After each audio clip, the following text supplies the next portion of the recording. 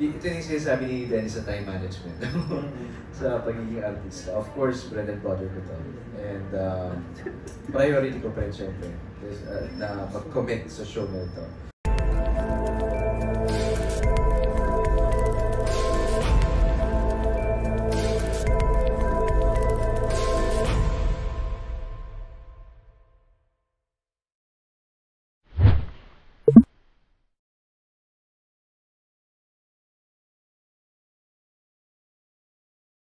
Ito yung sinasabi ni Dennis sa time management.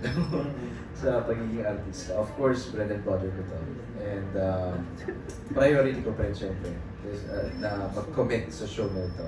So, if it comes to that, uh, I mean, the, the production is good enough to grant me uh, Maternity leave. mat- uh, maternity leave. Pero mukhang kailangan ko ata i-shorten kasi um, papasok niya mga eksena ko. So, kailangan ko na po ibigay yung buong oras ko sa Maria Clara.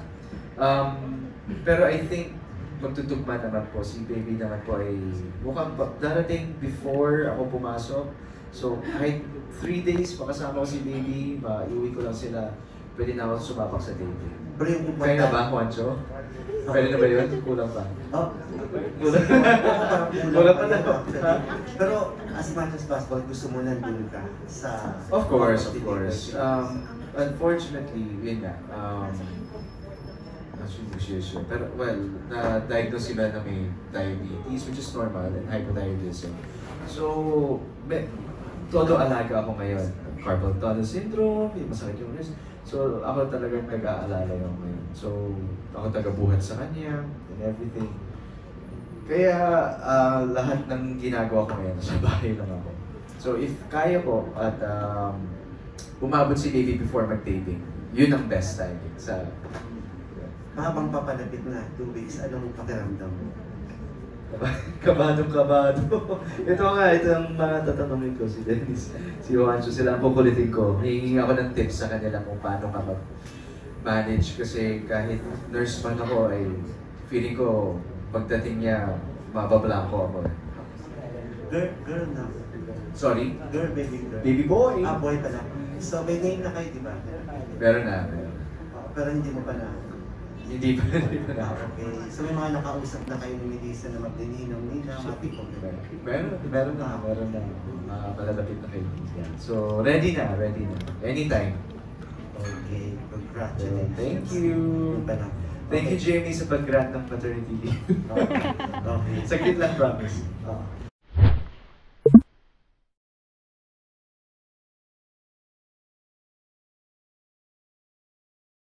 Oh, in a way, in a way, um, parang ganun din yun. Actually, pinag-uusapan din namin ni Juancho kanina kung paano maging isang reservist and how do you serve your country. So, kinakwento ko sa kanya, nakakaibang journey siya, na dahil sa Descendants of the Sun, na, ayun nga, na, nabuhay ang paggusto pag-serve. So, in a way, nakaka-relate din yun sa pagkwento naman. Sa pagkwento sa mga kabataan. And uh, the sad truth is, marami sa mga kabataan natin na medyo yun, nakalimutan na yung mga kung ano yung dati, history natin, how it is to love our country. Um, so, timely, very timely sa, sa tingin ko, sa opinion ko, Ate Rose. Ito, very timely itong show na to. Na gawing um, aral to sa mga kabataan. At the same time, ginagawa nilang very entertaining.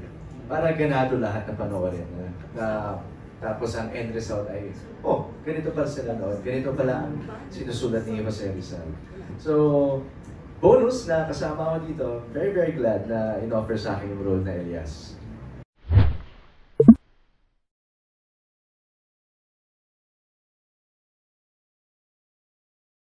Kaya mag-uusap pa kami ni Direk Sig ah, tungkol dyan kung gaano kalalim pa gusto niya ah, gawin si Elias. Kasi um, kung si Crisostom Ibarra ay si ah, Dr. Jose Rizal, si um, Elias ang katumbas ni Andres Bonifacio.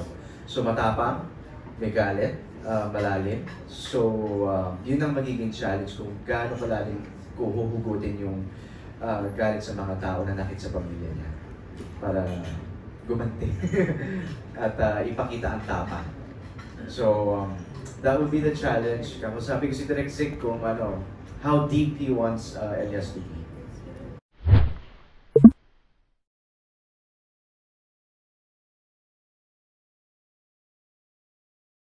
Oh, sa panahon ni Jose Rizal. Oh. Siguro yung uh, maisip tuloy ako kanina. Yung bumaril kay Jose Rizal. Sino? Yun. Ang dami mo nga rin daw share siya, ha?